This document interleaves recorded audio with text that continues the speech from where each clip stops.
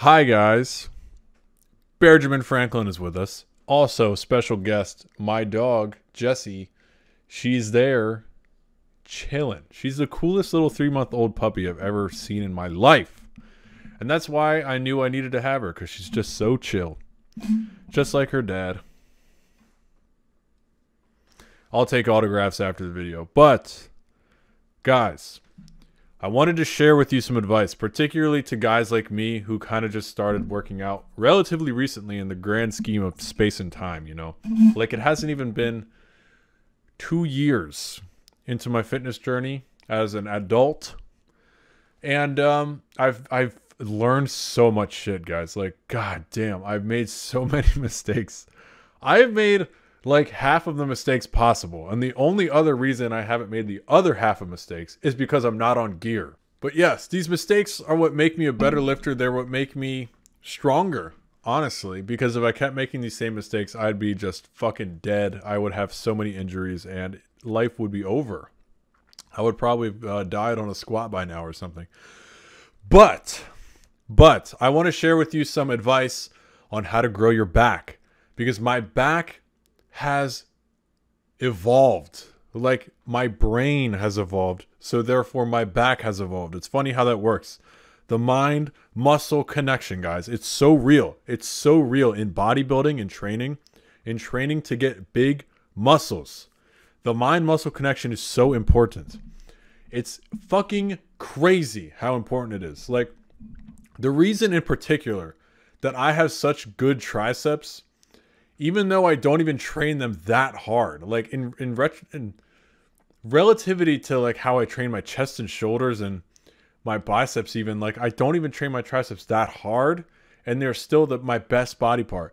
But it's just because I'm able to feel every single head work. I'm able to build that connection in my mind whenever I do an exercise. Yes, I know exactly what I'm doing. I know exactly how I'm feeling.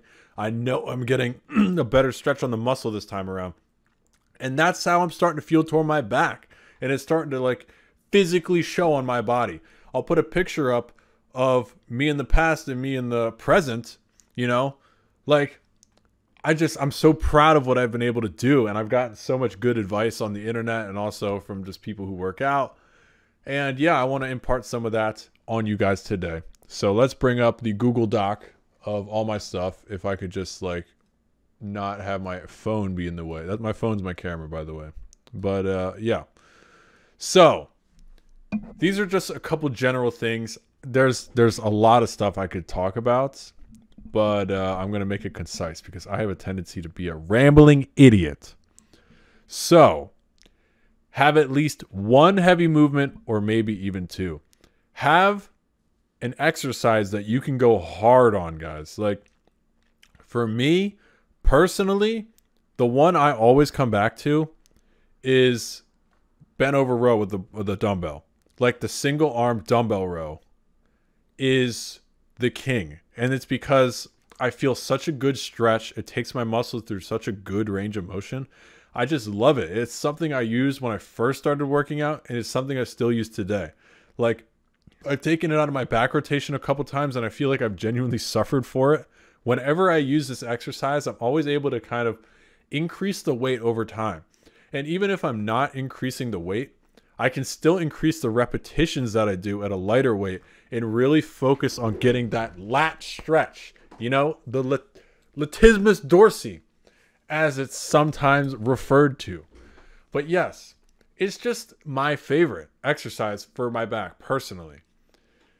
That and I'm sorry, I know my, my everything's so noisy in my room. Also, Jessie is just like the cutest little thing in the freaking world. Oh my god.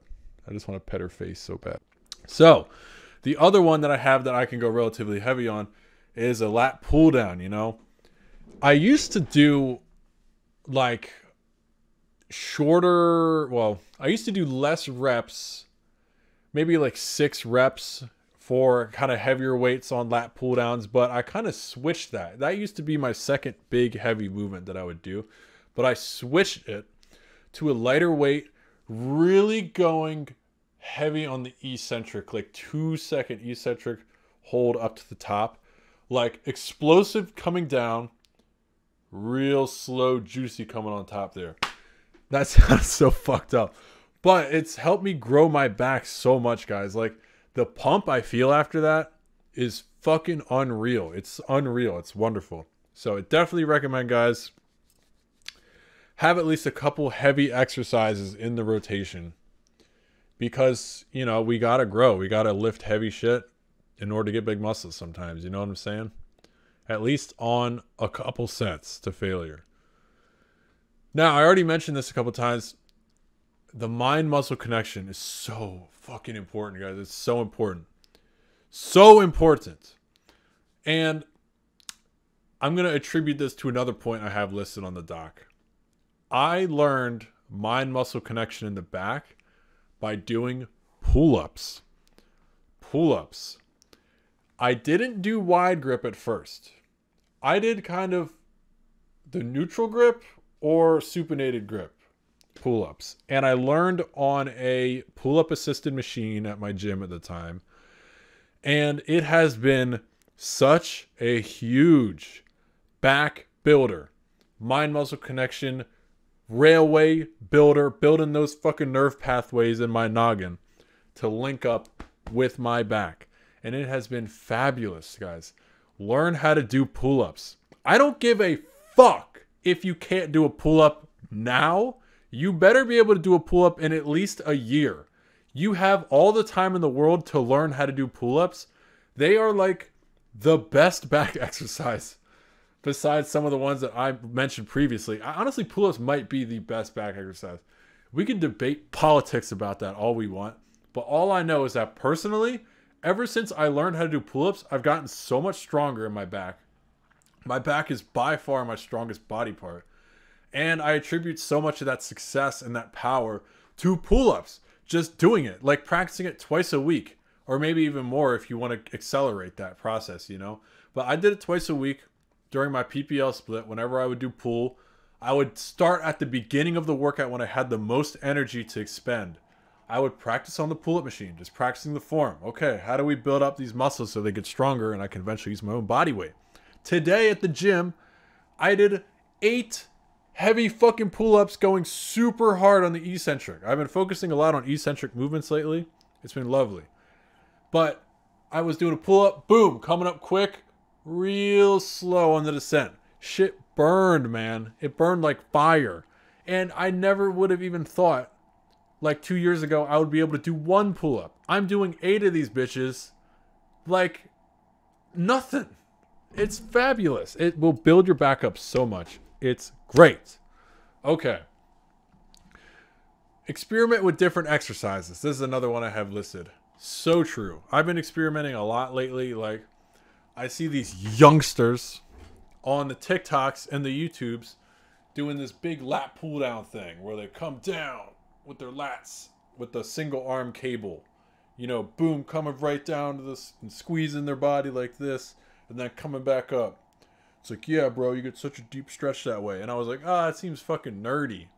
And then I did it for myself, and I'm like, oh my god, I feel my lat so much. It's like me and my lat are one physical being.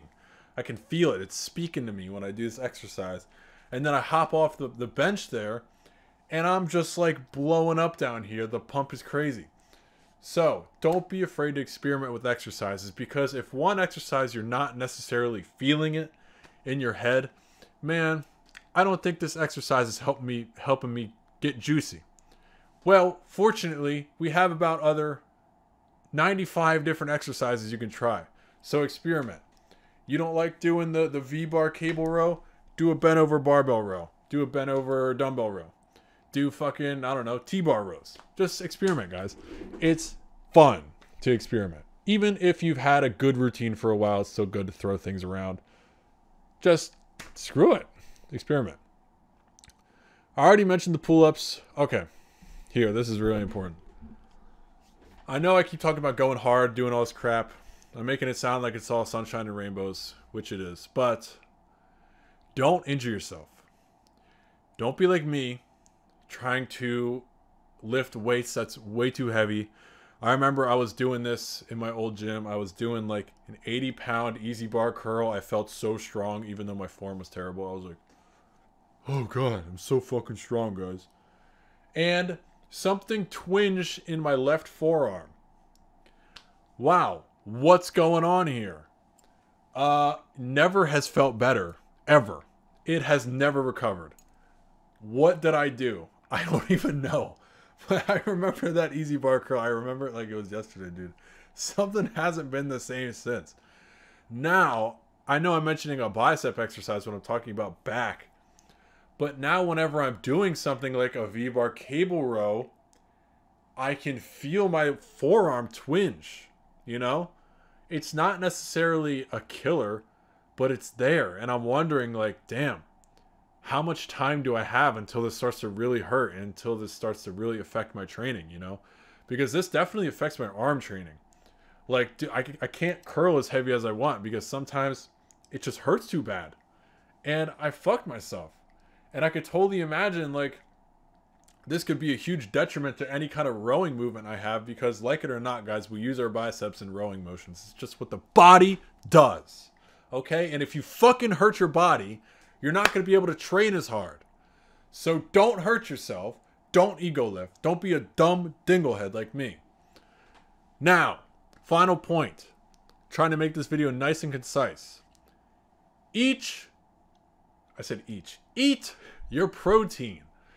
Get sleep. Recover well. Guys, training back, oftentimes you train back heavy and you train it hard. You need to eat in order to capitalize on these gains. Don't go home and slack off and be like, oh, you know, you know, I don't really feel like cooking right now. Bitch, you bust out that grilled chicken breast and you fucking eat it. Don't slack off. Your back is big it's a wide volume of muscle and you need to feed it. You need to feed your body. And this goes just with training in general. You need to adequately get the protein in that you need.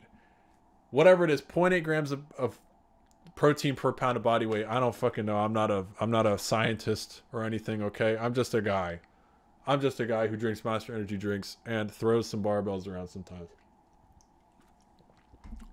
But that's all I really have to say. Jessie, do you have anything to say? She does not. She is a dog. She is physically incapable of speech. Thank you guys for watching. It's been a blast. And uh, I will see you. Thank you for watching again.